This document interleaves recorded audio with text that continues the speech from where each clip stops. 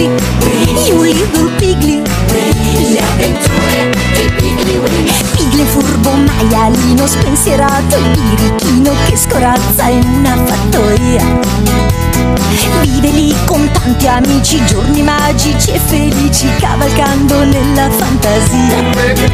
Pigli Wings, buffo maialino, Pigli Wings, furbo e birichino, che Pigli Wings nella grande fattoria. Quando parti e dai lo sprint, gira mille l'allegria. Sei piccino ma sei un grande, hai una marcia sempre in più. Non cambiare Pigli Wings, tu sei mister simpatia. Nella grande fattoria, che avventure Pigli Wings. Sei un magnifico birbante anche se vai spesso in tilt. Le più belle scorribande guidi sempre solo tu. Quando c'è la tua regia, che avventure Pigli Wings. Pigli, oh Pigli, Pigli, you little Pigli. Le avventure di Pigli Wings. Il drago sputafuoco. Ciao nonno!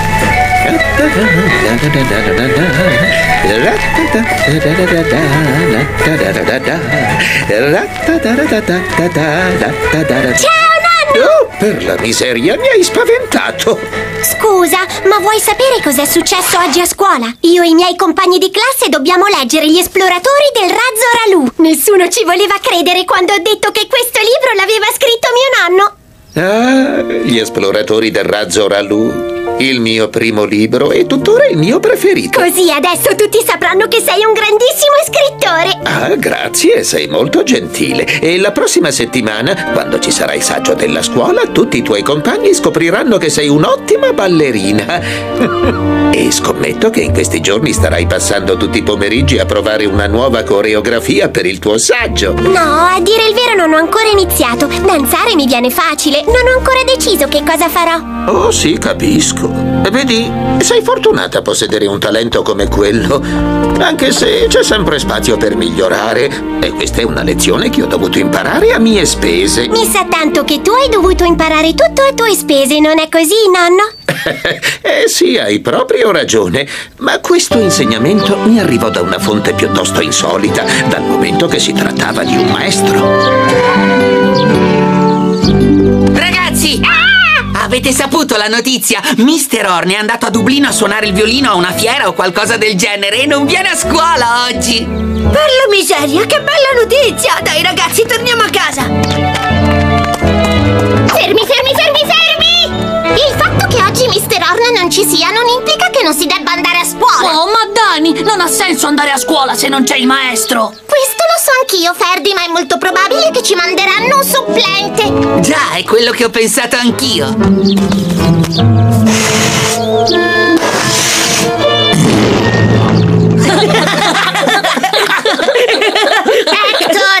Per me non c'è niente di più spassoso che fare gli scherzi ai supplenti. Andiamo a vedere se è già arrivato.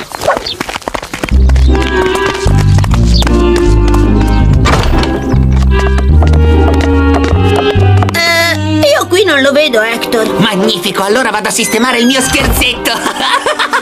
Sei sicura che oggi ci manderanno un maestro supplente, Dani? Sì, Ferdi, sono sicura. Mio padre mi ha raccontato che una volta, quando c'era un supplente, lui e i suoi compagni si sono scambiati nomi per un'intera giornata. Ehi, questa sì che è un'idea, ma scommetto che tu e Ferdi siete troppo fifoni per fare uno scherzo simile. Ma se la metti così, io sono Ferdi.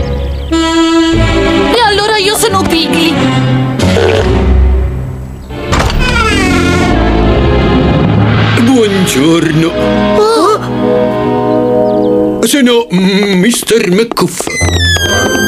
Sarò il vostro maestro finché Mr. Horn non tornerà da Dublino. Lui mi ha parlato di voi e quindi è un po' come se vi conoscessi già. Non vedo l'ora che si sieda alla cattedra per fare l'appello. Però dovrete darmi una mano anche voi, visto che è il mio primo giorno di lavoro in questa classe. E tu laggiù, come ti chiami, giovanotto? Chi? Io? Stando allo schema dei banchi, dovresti essere Hector. Sì, signore. Molto bene, Hector. Vieni qui, per favore. Per esperienza so che è molto utile che uno dei ragazzi mi assista almeno il primo giorno.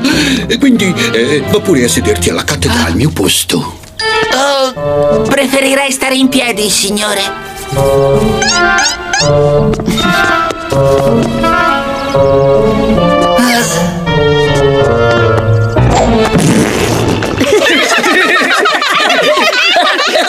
Scusi, Mr. McCuff. Avete visto che roba? Da morire da ridere! Ha fatto... Sapete, mi è venuta voglia di fare uno scherzo ai miei pecoroni! E adesso vediamo di cominciare a conoscere anche gli altri.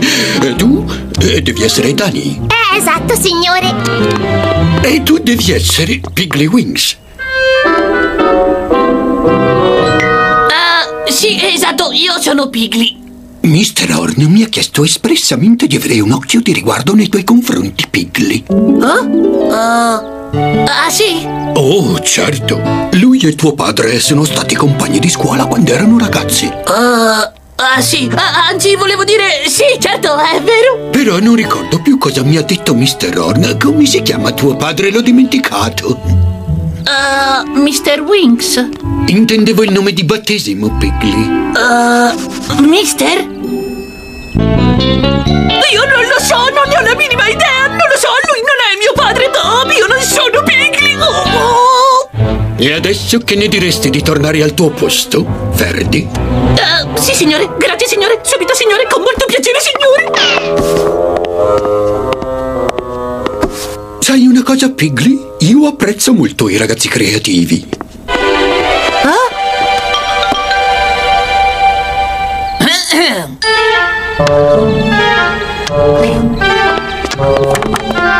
Se per caso avete deciso di buttare le matite a terra tutte insieme, vi suggerisco di ripensarci, ragazzi. Non era necessario essere una classe di geni per capire che il nostro Mr. McCuff era un uomo molto saggio. Bene, ragazzi, adesso a chi piace ascoltare una storia vincente? C'è qualcuno che ha voglia di raccontarci una storia divertente o eroica o particolare che riguarda qualcuno della sua famiglia? Cominci tu, Dani? Qua, cosa? Ah, beh, così, a dire la verità, una storia o due ci sarebbero. Magnifico, ti ascolterò con attenzione. Preferita riguarda mia zia Gertie. Alla sua fattoria c'è un pollo che va matto per le torte. Una volta questo pollo le rubò una torta che stava sul davanzale della finestra e mia zia Gertie trascorse tutto il pomeriggio a cercare quel matto di un pollo per tutta la fattoria. La tua storia è divertente, ma dimmi, che cosa faceva tua zia Gertie mentre andava a cercare il pollo? Oh, mia zia Gertie ha i piedi così grandi che sembrano delle pinne e le braccia lunghe lunghe come quelle di una scimmia. E così quando si è lanciata alla ricerca del pollo aveva i piedi che sbattevano e le braccia che ruotavano in aria. E mentre correva gridava? Uh, la sua voce assomigliava al rumore delle unghie sulla lavagna e continuava a strillare.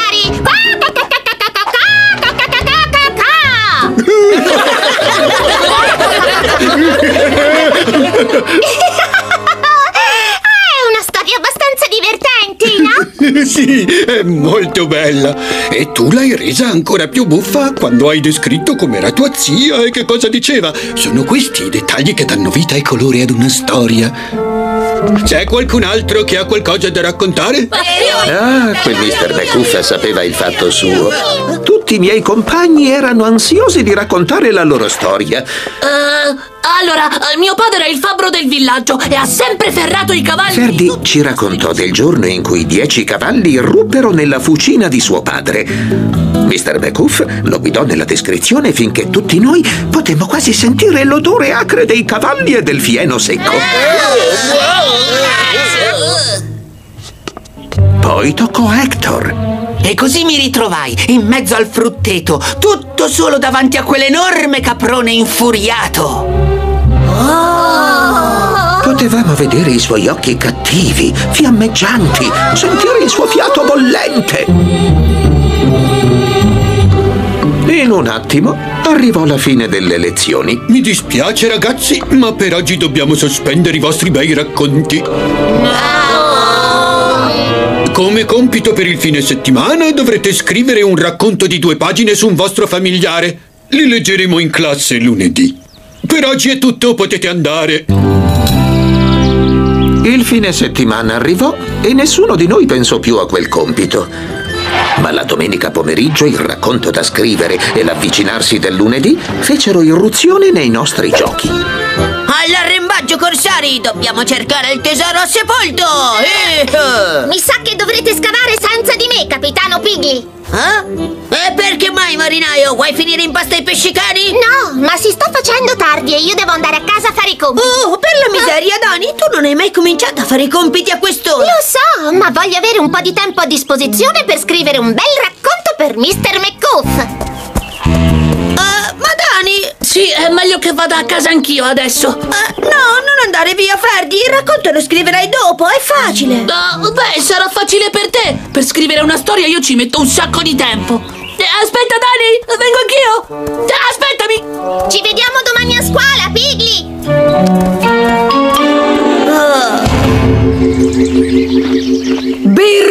Birni, Birni, caro il mio agnellino irlandese, guarda cosa ho trovato! Un magnifico girasole e siamo solo a novembre! È un miracolo! Avanti, mio dolce cavaliere di nero vestito! Senti che profumo! Per me? Oh, sciocchino, ma non dovevi! Non serviva, ma queste rose sono bellissime! Ah, Ehi, Willy, vieni un po' qua!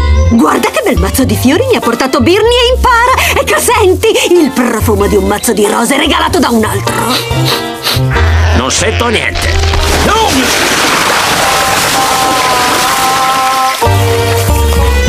E sei anche un burlone, ma guarda!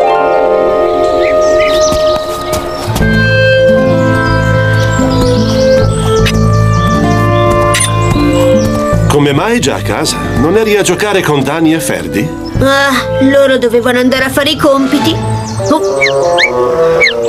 Bene, allora perché non vai in camera tua e li fai anche tu? no, io ci penserò dopo, sono facili. Eh, ti serve una mano, papà?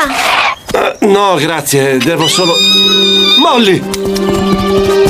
Lasciami! Via, via, bussa via!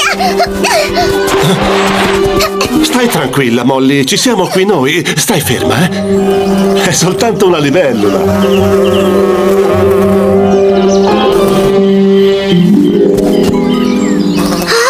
guarda com'è carina, possiamo tenerla! Immagino che abbia già una casa, non sarebbe giusto, Molly? Ciao ciao, torna a casa, libellula! Vuoi venire a cercare insetti insieme a me? Non credi che sia arrivato il momento di andare a fare i compiti, Pigli? Sì, papà. Io ero seriamente intenzionato a fare i compiti.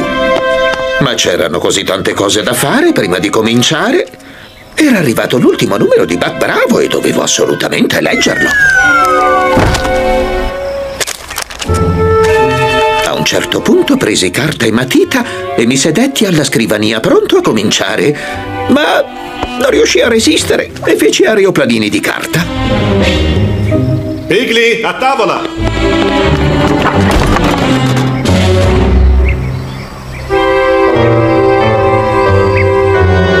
Più tardi, quella sera, dopo essermi abbondantemente riempito la pancia, finalmente ero pronto a mettermi al lavoro.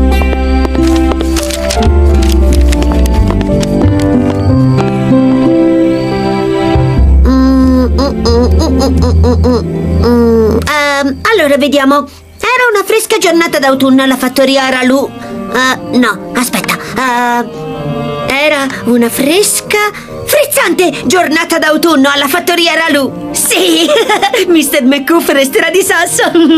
Io ero appena tornato a casa dopo aver giocato con i miei amici. Eh, no, no. No, eh, dopo, dopo un pomeriggio di grandi, eroiche avventure con i miei fedeli amici. Eh, quando sentimmo mia sorella Molly che si mise a strillare come una cornacchia. Domani prenderò un bel 10 e lode per questo racconto. Io corsi da lei per vedere cosa fosse successo e sopra la sua testa c'era... Pigli! Oh. Spero tu abbia finito i compiti, tesoro. Alla radio c'è il tuo programma preferito. Ah sì, il teatro dei mostri! Devo scrivere ancora una pagina. Ah, Sulla sua testa c'era una libellula. Papà la prese delicatamente tra le mani. Era un animaletto molto, molto, molto, molto carino. Pigli, non vieni? Ah, sì, arrivo! Molly non aveva più paura. Io e papà abbiamo lasciato libero l'insetto. Tutti erano felici e contenti. Finito! Ah, ecco qua, due pagine. Arrivo, papà!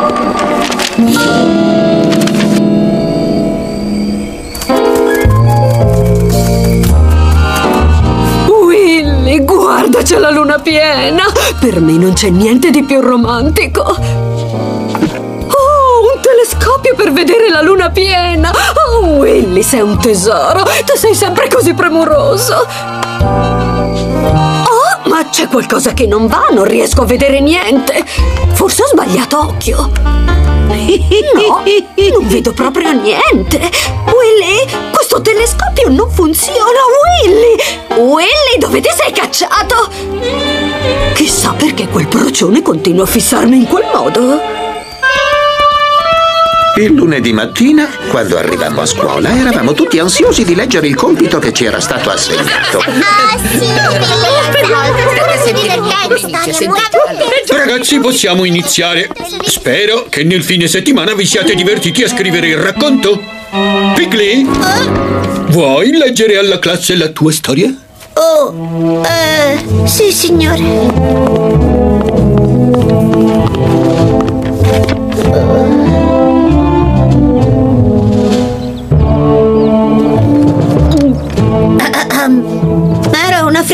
Frizzante giornata d'autunno alla fattoria Ralu.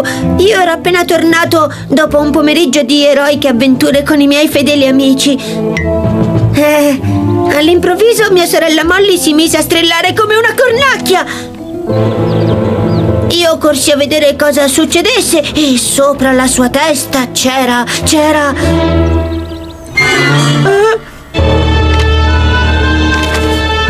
Continua pure, Pigli. Finora la tua storia è interessante. Eh, sopra la testa di mia sorella c'era un. un. un drago! Eh, proprio così, un vero drago enorme in carne e ossa che sputava fuoco!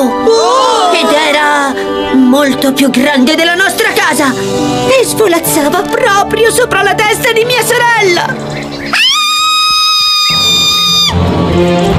Molly corse tra le braccia di mio padre, ma il drago li seguiva sputando lingue di fuoco per tutta l'aia. Poi, con grande coraggio e sangue freddo, mio padre corse al pozzo e attinse acqua fino a riempire un secchio e poi, con una mira perfetta, papà lanciò il secchio dritto dritto nelle fauci infuocate del drago. E lui cominciò a muovere a destra e a sinistra la sua lunghissima eh, coda. Eh, il drago, eh, non mio padre. Si girò a pancia in su, come un grosso, tenero e morbido cucciolone. Il drago in realtà non era cattivo, aveva soltanto sete. Finito.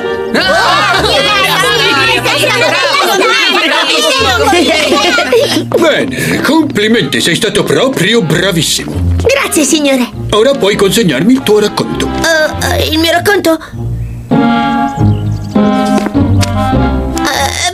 Non ho scritto proprio tutta la storia. Eh, quelli sono solo degli appunti. Ecco, ehm, il drago si è mangiato il mio compito stamattina poco prima che venissi a scuola.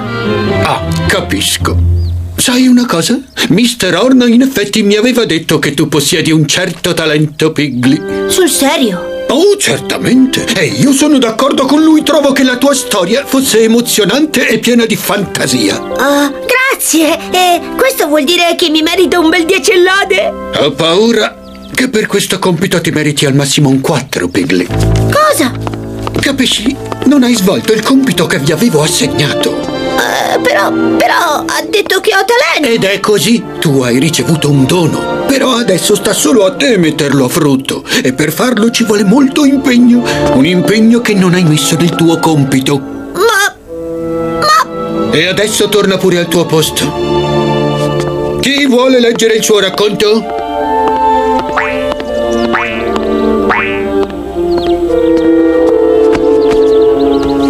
Ah, non riuscii a pensare ad altro per il resto della giornata.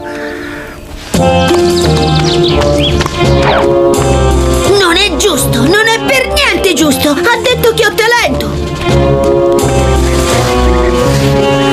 Il fatto è che gli sono antipatico, ecco tutto. E ha chiamato me alla lavagna di proposito. Oh, scusa, Finnegan. Ah, tanto cosa vuoi che mi interessi? Mr. McCuff non è il mio vero maestro. Che cosa vuole da me? È soltanto un supplente.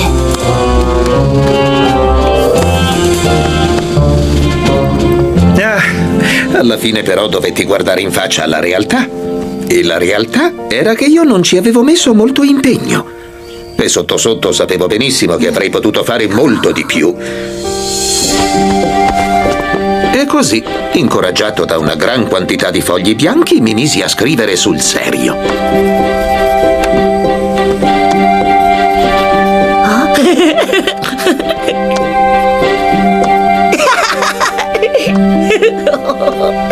E da quella volta non hai più smesso di scrivere, vero nonno? Hai proprio ragione. Ma da allora non ho più dato per scontato il mio talento. Vedi, è vero che io avevo ricevuto un dono, ma è stato solo merito mio se sono riuscito a metterlo a frutto.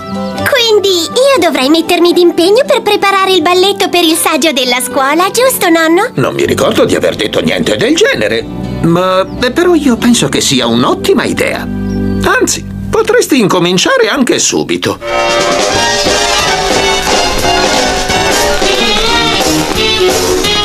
E spero che anche voi mettiate a frutto tutto il vostro talento.